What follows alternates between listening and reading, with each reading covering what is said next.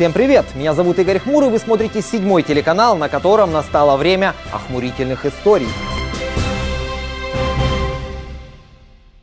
Представьте себе, что вы мэр Одессы. Прямо у стен ЖД вокзала есть старинная Старосиная площадь. Ее фактически оккупировали стихийные торговые точки и наливайки. Одесситы негодуют. Что делать? Как по мне, вполне логично подсуетить все законные рычаги власти и убрать это дело к чертовой матери. Пострадают коммерсанты? Ну так не надо было носить свои деньги непонятно кому, кто называет себя хозяином чего-то там. И вообще, хватит уже называть бизнесом топорную спекуляцию. В чем идея стартапа Старосиной? Поехать на седьмой километр, купить пару ростовок самых дешевых маек или коробку паленых DVD, привезти весь этот эксклюзив поближе к ленивым покупателям и продавать в 3-4 раза дороже? Но это мы так думаем, черни-крепаки, потому что наша цель превратить Старосиную площадь в площадь, а не мини-филиал привоза со всеми вытекающими и заливающими. А что, если бы нам хотелось не просто облагородить эту территорию, но и слить землю под ней своим друзьям? Согласитесь, пару гектаров в самом-самом центре Одессы – это более чем вкусно. Но площадь, которая просто площадь и парк, частнику неинтересно, слишком хлопотно и дорого все потом станет. Построить гостиницу, торговый центр или пару кабаков гораздо проще на костях обанкротившегося или сгоревшего мини-рынка. А как красиво пылали турбазы в затоке, когда надо было отжатую землю от остатков казенного освободить, мы прекрасно помним. Но вернемся к Старосиной. Сейчас я объясню, к чему было все вышесказанное. И дабы избежать упреков в неправдивости источников, я использую сайт мэрии.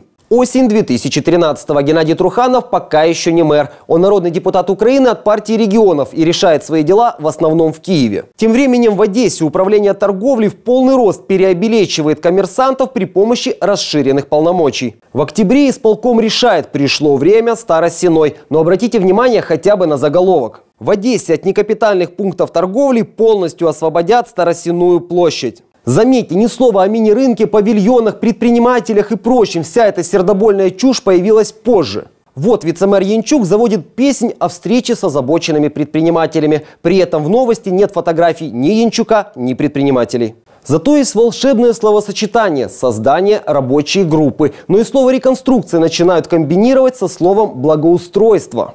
Запомните этот момент.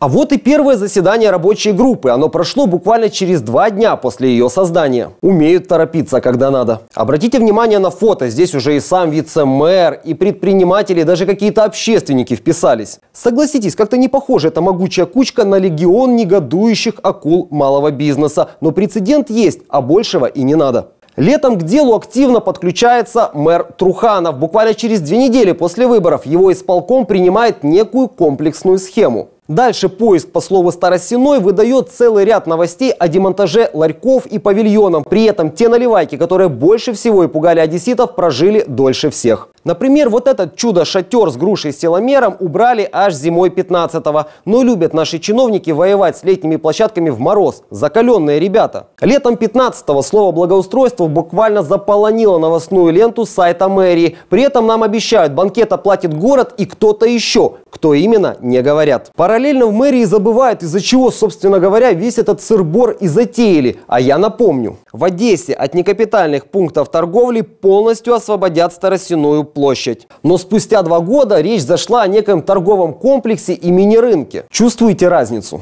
Интересно, что о тех горе-предпринимателях из рабочей группы все забыли. Им плевать, что горе-торговка китайскими трусами по 3 рубля за штуку не сможет себе позволить аренду такого магазина.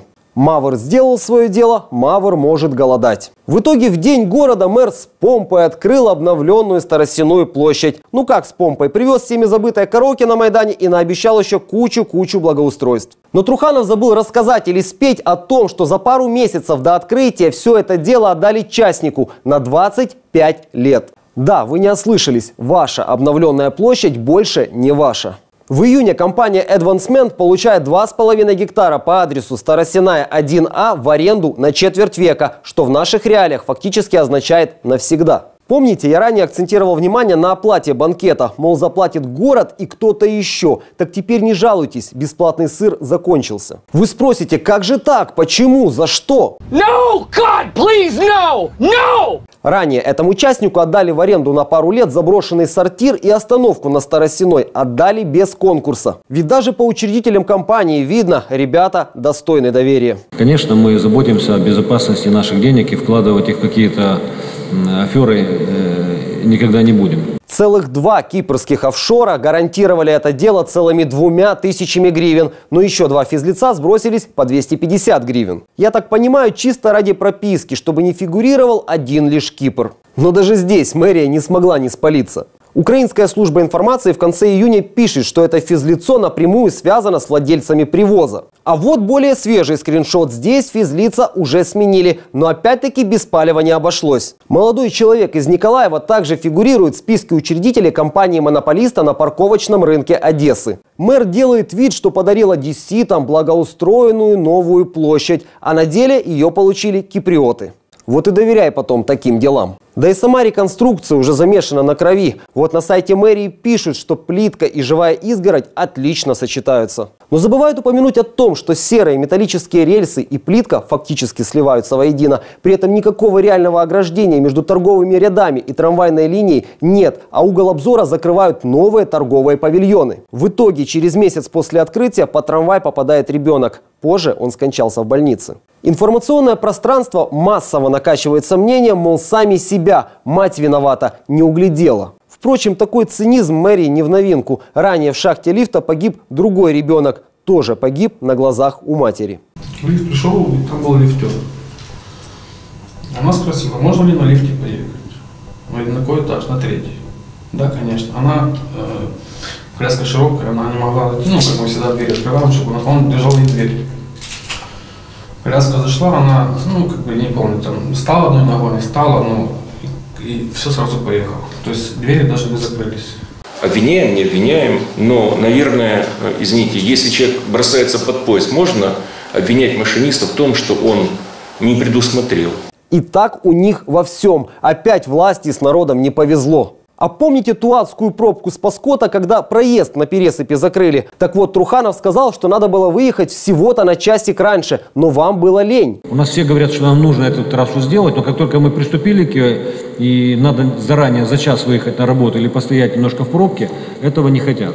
Резюмируем. Нам обещали убрать торгашей с площади, но в итоге мы получили новый мини-рынок прямо возле привоза. И то получили его не мы, а друзья мэрии. Такое вот благоустройство. И знаете что? Это еще не конец. Недавно мэр заговорил про благоустройство заброшек на Приморской, там где таможенная площадь. И опять все фразы как под клише «бомжатня, разруха, бомжатня, разруха». Что мы получим в итоге, покажет время. Ну как минимум споем вместе с мэром караоке на открытии. Ведь это для вас сейчас самое главное насущная проблема, не так ли?